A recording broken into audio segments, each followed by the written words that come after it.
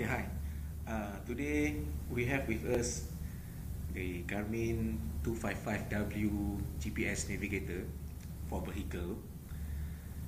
The device is actually easy to use, the size of a palm.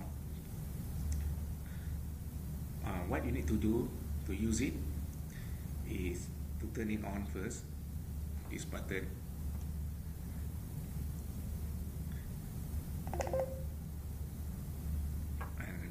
the map will be unloaded in just like two seconds. For a start, maybe you like to, for users, maybe you like to click on the tools and locate where they are by pressing. Let's say you want to go somewhere, you just click on where to, and there are a few items that you can see, such as dress, go home, point of interest, recently found, favorites, intersections, etc. Let's say you want to go to points of interest, okay. you can go to locations near you like food, fuel, shopping, lodging, transit. Let's say we take food. Pressing on food, hmm, you can decide on all food, American, Asian, or a donut. Okay, if you click on all food, the device will come out with list of restaurants that are available.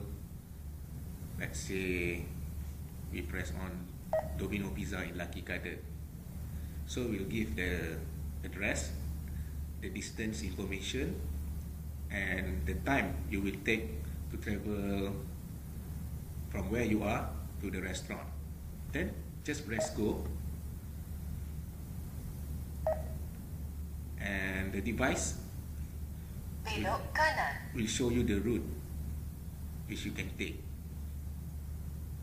Okay. It comes with a few languages such as American English, American English Czech, Indonesia, Malay, Thai, and a few Chinese language like Mandarin, Hakka, Hokkien. Okay, let's say you choose Malay, uh, American English. Then the voice that guide you will be a female voice in American English.